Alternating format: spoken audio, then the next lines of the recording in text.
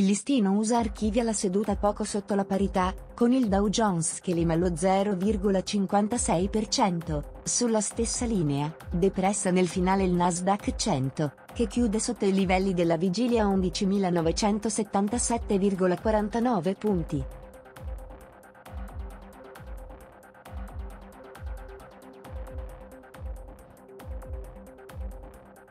Si è mossa in territorio negativo Tokyo, in ribasso dall'1,10%, archiviando la giornata a 25.728,1 punti. Seduta in calo per Shenzhen, che retrocede dello 0,85% e chiude a 13.732,5 punti.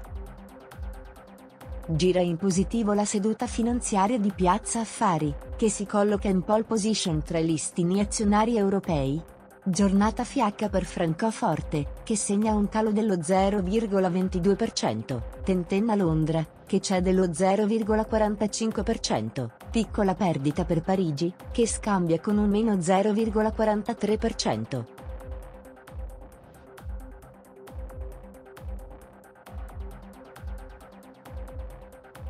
Apprezzabile rialzo, più 1,82%, a Milano per il comparto chimico, Ottima performance per Aquafil, che scambia in rialzo del 2,97%.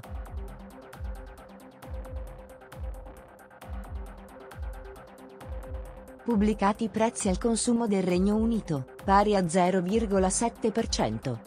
Stamattina, in Unione Europea, saranno pubblicati i prezzi al consumo.